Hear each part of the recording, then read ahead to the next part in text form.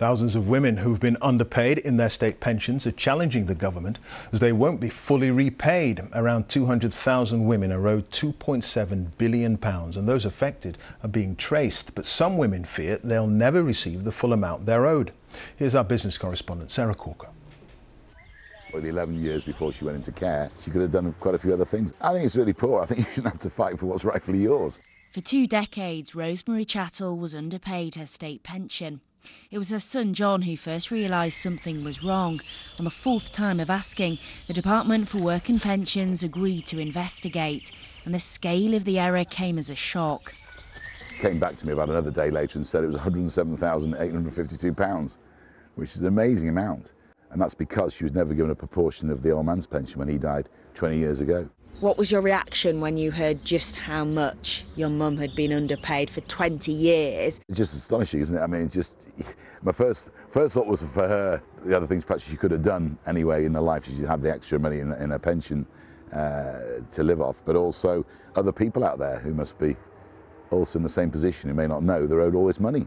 And there are many others affected by this. Women phoned the Department for Work and Pensions suspecting their payments were too low. Some were receiving just £1 a week, but they were repeatedly told the amounts they were getting were correct, but they weren't. And for decades, an estimated 200,000 women were underpaid their state pensions. Well, this is the astonishing thing. It's been going on for years and nobody knew. We still haven't had an explanation for what went wrong. I don't think anybody yet knows why this automatic system didn't notify the women and give them the pension that they were due. And that in itself is quite shocking. Some women will now be fully repaid automatically, but others won't. But this has been going on for a long time. I just hadn't realised. A rule change in 2008 means Angela from Cumbria will only be able to backdate payments for 12 months. She believes she's owed 14 years of enhanced pension and will miss out on tens of thousands of pounds. It seems very unfair, very unfair.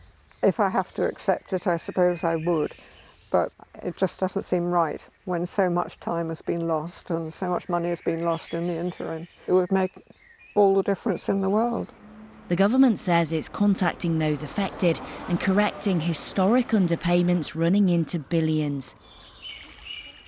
But that doesn't include women impacted by the 2008 law change. The DWP said it wrote to them at the time about applying for an increase, but those the BBC has spoken to say they received no such letter.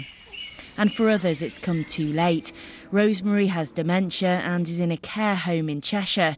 She'll never know about this life changing amount of money. Sarah Corker, BBC News.